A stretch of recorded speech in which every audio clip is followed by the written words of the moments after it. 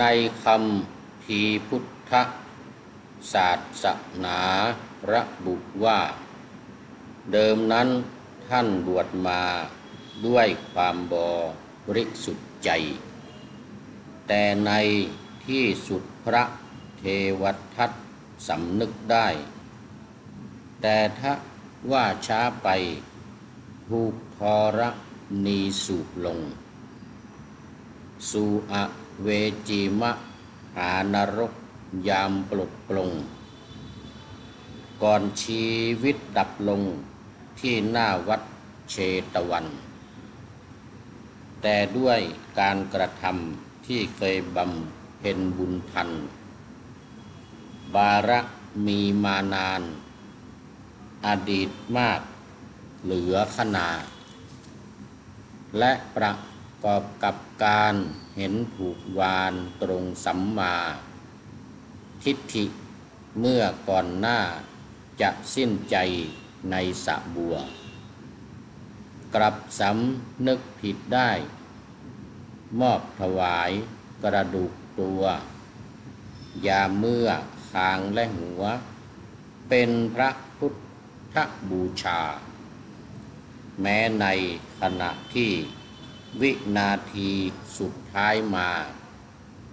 ผูกแผ่นพระสุธาสูบทำให้พุทธองค์ ทรงพระยากรการ ด้วยเหตุนั้นว่าเมื่อลง สุอเวจีพง สิ้นกรรมจักได้นิพพาน ขอถวายความนอบน้อมแด่พระรัตนตรัย มีพระพุทธเจ้าเป็นต้น และขอถวายความเคารพพระมหาเถระพระเถรานุเถระเจ้าคณะพระสังฆาธิการทั่วโลก อันมีพระเดชพระคุณพระธรรมเสนาบดี รองเจ้าคณะภาคเจ็ดวัดพระธาตุดอยสุเทพเป็นต้น และขออำนวยพรแด่ท่านผู้ฟังท่านผู้ชม สาธุชนพุทธบริษัททั้งหลาย วันนี้รายการ ธรรมทัศน์ของวัดพระธาตุดอยสุเทพ ออกอากาศทางสถานีวิทยุวปทสองจังหวัดเชียงใหม่ โดยมีร้อยเอกจำนงปัญญาวัฒโนเป็นหัวหน้าสถานี และอัตมาภาพพระครูปริยติยานุศาสตร์เป็นผู้บรรยาย เป็นประจำทุกวัน ตั้งแต่เวลา 7 นาฬิกา 30 นาที เป็นต้นไปจนถึง 8 นาฬิกาโดยประมาณสำหรับวันนี้ก็คงยังเหมือนเดิมญาติโยมทั้งหลาย บรรยาย ผ่านทางอินเทอร์เน็ตเฟซบุ๊กไลฟ์จากวัดโพกัน พุทธวิหาร เมืองจังปุระ จังหวัดนิวเดลี ประเทศ อินเดีย เหมือนเดิม ขณะนี้กำลังพักพาอาศัยอยู่ที่วัดโพกั้นแห่งนี้โดยมีพระอาจารย์จันดีเป็นเจ้าอาวาส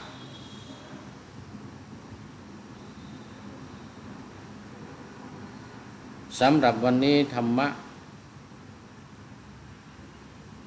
ที่จะได้ นำเสนอในรายการในรายการเป็นธรรมะเนี่ยนะในพระไตรปิฎกพุทธกนิกาย ธรรมบท ภาคที่หนึ่ง ยมกะวักวักที่ว่าด้วยหมวดหมู่ ว่าว่าด้วยทำเป็นคู่ สิ่งทั้งหลายเป็นคู่คู่เนี่ยยมกะยมกแปลว่าเป็นคู่เนี่ยเป็นคู่กัน มาถึงเรื่องที่เจ็ดคือเรื่องพระเทวทัตนะดังที่ได้ ปะนาธรรมาสเอาไว้ ว่าท่านพระเทวทัตนั้น ได้มีกาความรู้สึกสำนึกสำนึกตน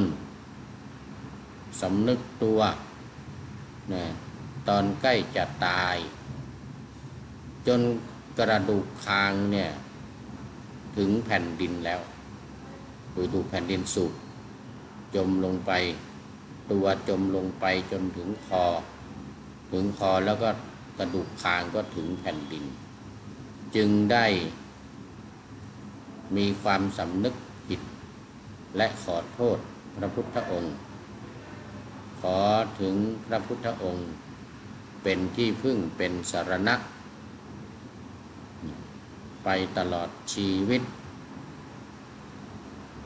นี่คืออรู้สึกสำนึกผิดที่ได้ทำผิดมาโดยตลอด ได้ทำร้ายทำอันตราย กลั่นแกล้งพระพุทธเจ้า มีความประสงค์จะปรงพระชนของพระพุทธเจ้าหลายครั้ง จนกระทั่ง ถูกลูกศิษย์ตีเขาอืม ตีเขาคือพระโกกาลิกะ แค้นใจไม่พอใจที่ถูกหลอกมา ถูกพระเทวรัตพระทัตหลอกมาอยู่ด้วยทำลายสงให้แตกกันด้วย เออเรียกว่าทำอนันตริยกรรมหนัก คือทำลายสงฆ์แล้วก็ทำพระโลหิตของพระพุทธเจ้าให้ให้ห่อขึ้นมาพกช้ำดำเขียวขึ้นมา เพราะว่าท่านพยายามในการที่จะทุ่มก้อนหิน จากยอดเขาลงมาถนนที่พระพุทธองค์ประทับเดินจาก ยอดเขาคิดชกูฏเอ่อจากลงไปวินทบาทในพระนคร ก็พระเทวทัตกลิ้งหิน ดีว่าหินไม่ถูกตรงพระองค์ แต่ไปถูกที่อื่น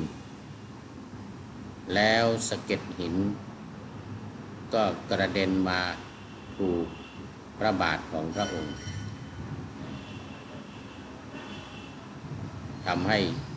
พระองค์ทรงได้รับเวทนากล้า เจ็บปวดมาก ถึงกับส่งเข้าโรงพยาบาลของหมอชีวก ที่เคยเล่า เคยเล่ามาหลายครั้งแล้วก็จะไม่จะไม่เล่าตอนนั้นนะ ก็มาเล่าตอนที่พระเดวทัตบวชมาในพระพุทธศาสนาเป็นยังไงยังไงยังไงเออนะบวชมากับใครอย่างเงี้ยมีใครบ้างแล้วก็มาหลังจากที่บวชแล้วก็มาทำความผิด ทำความไม่พอใจในพระองค์หลายอย่างหลายประการ จนกระทั่งสุดท้าย ไปขอขมาพระพุทธองค์ คือสำนึกได้ตอนใกล้จะตอนใกล้จะตายตอนถูกถูกแผ่นดินสุบลงไปถึงคอแล้วถึงกระดูกคางแล้ว พระพุทธองค์จึงได้ทรงพยากรณ์ ให้เห็นเหตุที่ว่าเออมีความสำนึกผิด และขอโทษ ก็จึงทรงอภัย และพยากรณ์ว่าเออพระเทวทัตเนี่ย จะได้เป็นพระพุทธเจ้าองค์หนึ่ง เป็นปัจเจกับพุทธเจ้าสาเหตุว่า เอ๊ะทำไมทำไม่ดี จึงได้จะจึงจะได้เป็นพระพุทธเจ้าคำตอบก็คือว่าท่านพระเทวทัตนั้น เกิดมาในภพใดในชาติใดถ้าไม่เจอไม่พบพระพุทธเจ้าเนี่ยก็ทำความดีบำเพ็ญบารมีขั้นสูงสุดเหมือนกัน ขนาดหนักเหมือนกัน แต่ภพใดชาติใด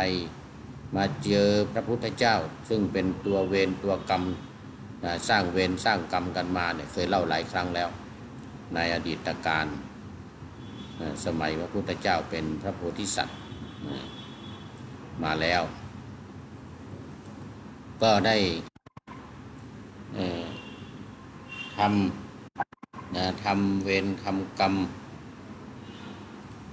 ขณะที่มาพบใดชาติใดที่มาพบกับพระพุทธเจ้าเนี่ยก็ได้สร้างเวรสร้างกรรมกันมา ก็จะทำกรรมทำกรรมหนักทุกครั้ง มาครั้งนี้ครั้งสุดท้ายนี่สุดท้ายนี่หมายถึงสุดท้ายของพระพุทธเจ้านะชาติสุดท้ายของพระพุทธเจ้าต่อไปไม่มีแล้ว